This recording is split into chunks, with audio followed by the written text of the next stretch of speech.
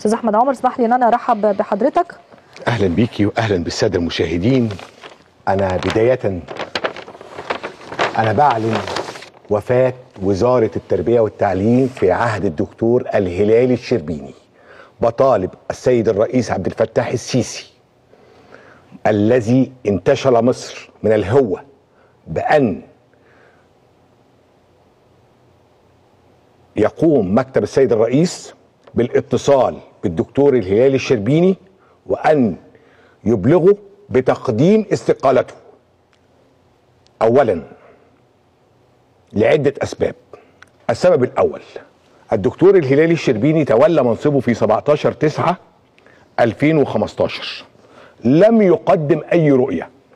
ولم يأخذ أي رؤية يشتغل عليها. ما عندوش رؤية ماشي. يشتغل ع... ياخد رؤية السابقين. في رؤى كتير كان من الأول إنه يشتغل عليها. صنع فجوة في الوزارة بينه وبين كافة المديريات التعليمية. بينه وبين القيادات. كافة القيادات بتخاف تخش له عشان ما تتهنش. ليه؟ يعني إيه تتهان؟ أنا أستاذ تخطيط تربوي ويجب ما بعنه كل كلمته أنا أستاذ تخطيط تربوي. يعني أنا اللي بفهم في التخطيط التربوي وما حدش بيفهم في أي حاجة. ما حدش بيدي ما بديش فرصة لأي حد يتكلم معاه. ده نمرة واحد.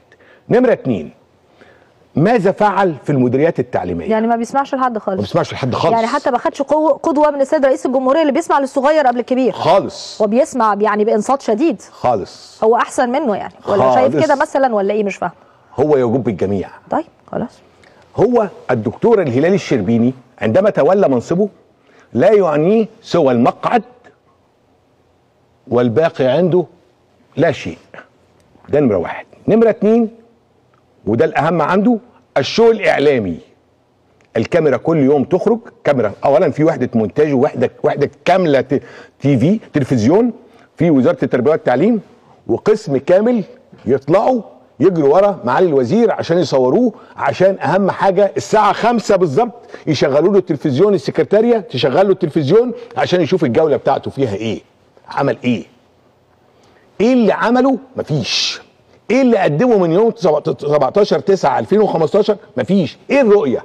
أنا كل ما يقعد يقول لك أنا عملت عندي رؤية قصيرة المدى رؤية طويلة المدى آه، رؤية يا متوسطة هي المدى. نفس الكليشيهات اللي بتتقال في كل مناسبة. مفيش أي حاجة جديدة فين؟ خالص. ما, ف... ما قدمش أي جديد. لا مناهج. عمل. سياده الرئيس كلفه بالمناهج. مفيش أي حاجة. لم يتخذ أي خطوة.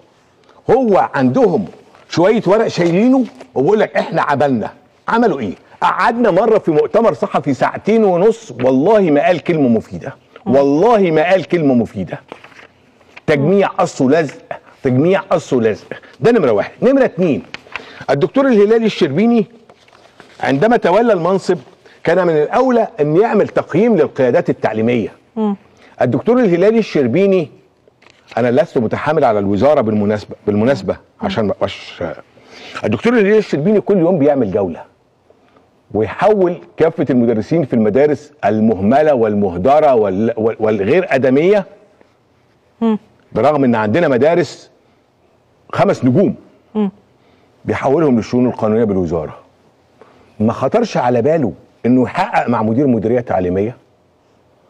ما خطرش على باله اللي مثلا مديريه من مديرية من المديريات دي فيها سلبيات. يتصل بمدير المديرية. ما هو يمكن مديرين المديريات في القاهرة والجيزة ليهم قرايب مهمين يا فندم. يا فندم القصة مش مديرين ولا كده هو ما عندوش آه، آه، أو هكذا يدعوا يعني. يا فندم ما فيش لا حد لا قريب ولا بعيد كله كل القيادات تولت مناصبها آه، بالكفاءة زي ما بيقولوا.